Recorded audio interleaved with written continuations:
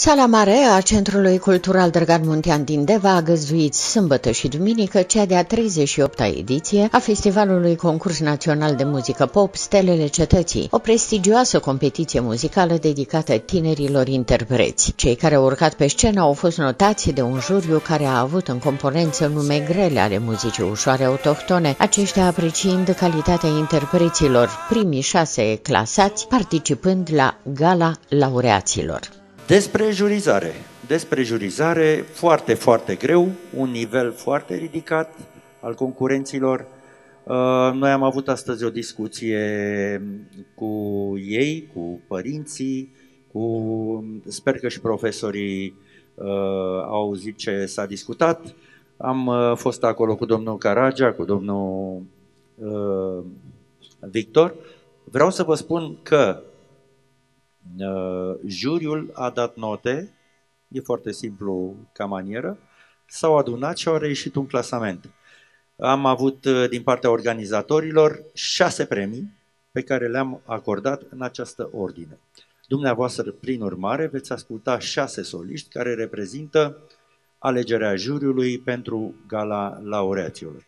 Asta nu înseamnă că ceilalți s-au prezentat, să zicem, mai rău, mai cu probleme, mai cu au fost cântăreți foarte talentați care au avut uh, și cred că au un viitor în uh, muzica noastră ușoară. În ciuda condițiilor deosebite în care s-a desfășurat ediția din acest an a Stelelor Cetății, s-a înregistrat un record de participanți, lucru care vorbește de la sine despre valoarea festivalului de la Deva. Ne bucurăm tare mult că am reușit în acest an uh, să aducem mai departe tradiția acestui festival de prestigiu de aici de la Polele Cetății, Ehm, anul acesta putem spune că am avut uh, un număr record de concurenți. Au rămas uh, pentru a se duela în concurs în prima zi de uh, concurs, cea de ieri, 15 concurenți. Cei mai buni, care au fost selectați de către juriul pe care l-am avut, am avut cinstea să avem aici personalități ale muzicii românești și nu numai, în frunte cu domnul președinte Viorel Gavrilă, care este și vicepreședintele Uniunii Compozitorilor și Muzicologilor din România. Uh, au avut o misiune grea, dar nu imposibilă. I-au ales pe cei mai buni dintre cei buni. Organizarea de excepție de care s-a bucurat festivalul a fost remarcată și de către reputații membri ai juriului, compus din Viorel Gavrilă, Nicolae Caragea, Mihaela Martina Șiancu, Vasile Repede și Victor Socaciu, aceștia exprimându-și speranța ca ediția viitoare să se desfășoare în condiții normale, iar valoarea concurenților să fie și mai mare o mare bucurie, iată, avem noi cei soțiți aici la Deva, să constatăm că un festival de renume, Castele Cetății, cu, uh, este atât de valoros, anul ăsta poate cu atât mai valoros, cu cât uh, trecem o perioadă specială și au fost foarte mulți concurenți la preselecție. Organizatorii au, s-au întrecut pe sine, deci vreau să vă spun, o organizare ireproșabilă și aplauzele noastre că merită din plin acest lucru. E foarte, foarte, foarte greu ca să faci un asemenea festival, iar ei vreau să vă spun că au reușit un lucru deosebit, îmi spuneau și concurenții care au uh, participat aseară. Eu cred că um, ediția de anul viitor o să fie și mai puternică, să dea Dumnezeu să fim sănătoși, să ne revedem cu drag aici la, la Deva. Organizatorii evenimentului, prezentat de colega noastră Corina Butnariu, au fost Primăria Municipiului Deva și Centrul Cultural Drăgan Muntean din localitate. Vreau să mulțumesc pentru că au fost alături de noi și au făcut posibil ca acest uh, festival să aibă loc în acest an. Chiar dacă vremurile sunt cum sunt, a fost foarte greu, dar uh, atunci când există oameni care iubesc cultura și care sprijină actul cultural, uh, nimic nu este imposibil. Și vreau să mulțumesc pentru acest uh, lucru primăriei municipiului Deva, Consiliul Local al municipiului Deva și tuturor consilierilor locali, indiferent de culoarea politică, pentru că uh, susțin cultura în Deva și asta ne bucură tare mult.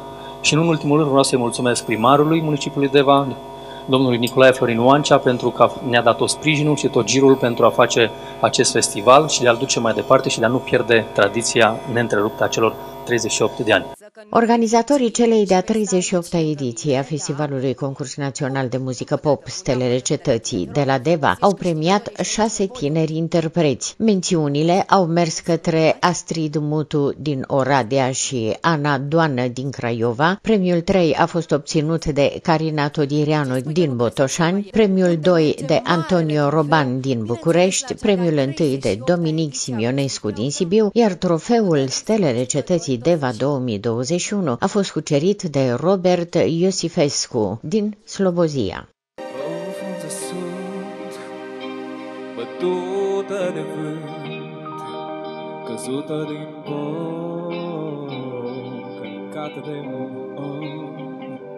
tot ce mai sfânt s-a scurs în pământ, cerul s-a închis, tu mai ucis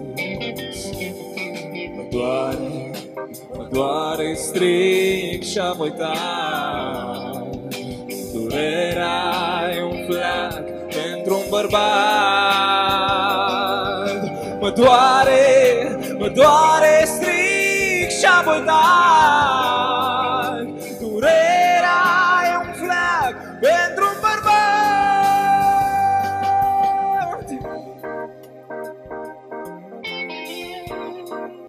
Punctul culminant al evenimentului a fost recitalul extraordinar susținut de trei dintre vocile de aur ale muzicii românești, respectiv Victor Socaciu, Mircea Vintilă și Ducu Berții.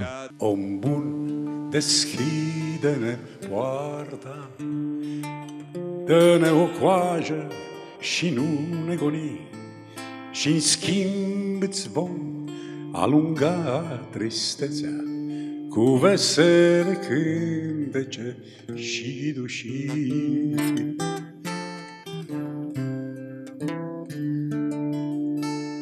Venim de departe și mergem departe, tocmai în zare sus la castel.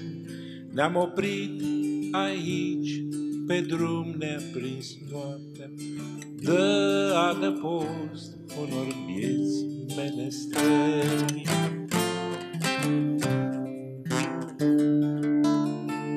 La castel mâine va fi sărbătoare, Prințesa împlinește an 20, Vom bea mult vin, vom goli cu mâncare, Ce va fi acolo să tot petreci.